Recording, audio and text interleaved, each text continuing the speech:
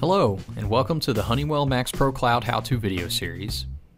In this video, we're going to cover how to switch a NetAXS 123 panel using R6 firmware to MAXPRO Cloud mode.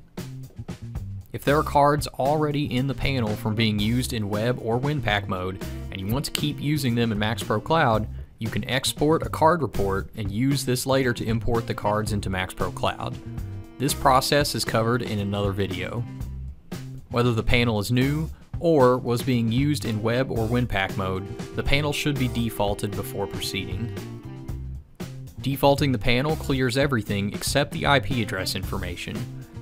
Remember that by default, the panel is set for a static IP address of 192.168.1.150. If the panel was used previously and defaulted, the IP address will still be what it was before the default. While on the same network as the panel, open a browser, navigate to the IP address of the panel, and log into the panel locally. The default username and password are admin admin.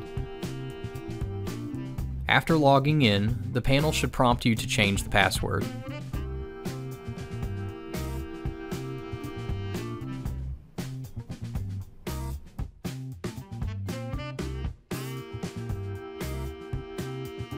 After doing so, select the menu in the upper left and go to Panel Configuration. Go to the Host Loop Communication tab. It will be in MAXPRO Cloud mode by default, but go ahead and change it to web mode and save since there are some things that need to be changed first before registering with MAXPRO Cloud. Go to the Settings tab and set the IP address information. By default, the panel is set to use a static IP address. If you need to change it, enter the static IP address information or set it to DHCP. Next, set the time format as 12 or 24 hour.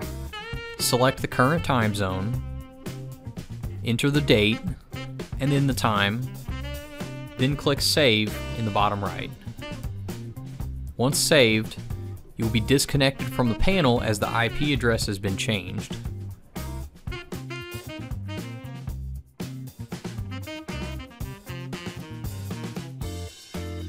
After reboot, reconnect to the panel using the new IP address and log back in. Go back to Panel Configuration, and if needed, go to Card Formats to add or select any card formats to use on doors in this panel. By default, none are selected, meaning that they will all work. Additionally, site codes may be added under the Advanced tab. Formats and site codes cannot be changed through MAXPRO Cloud and must be done in the panel locally before registering with MAXPRO Cloud. Once all local settings are configured, go back to the Host Loop Communications tab and switch the panel back to MAXPRO Cloud mode and save. Once switched, the panel will attempt to register with MAXPRO Cloud. This concludes the steps to switch a NetAXS 123 panel using R6 firmware to MAXPRO Cloud mode. Thank you for watching, and have a nice day.